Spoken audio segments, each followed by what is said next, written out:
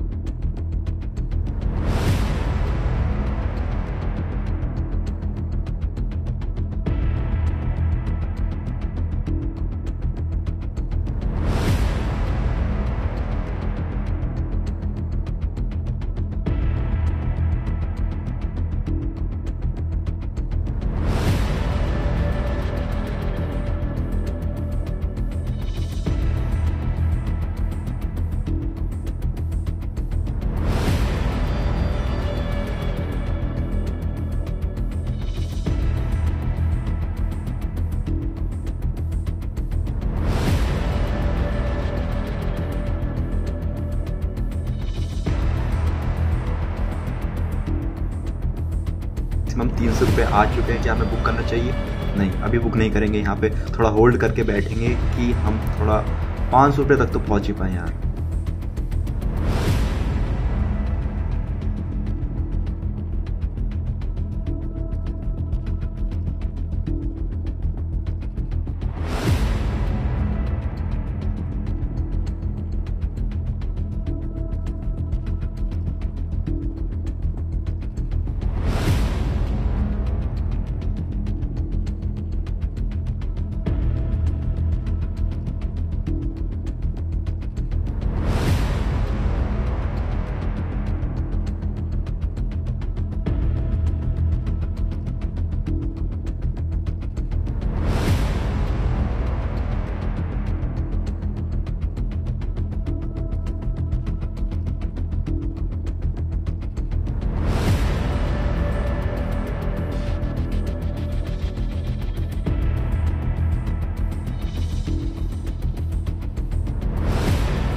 Holy shit zero रुपये की तरफ़ आ गए पंद्रह बीस रुपये चल रहे हैं।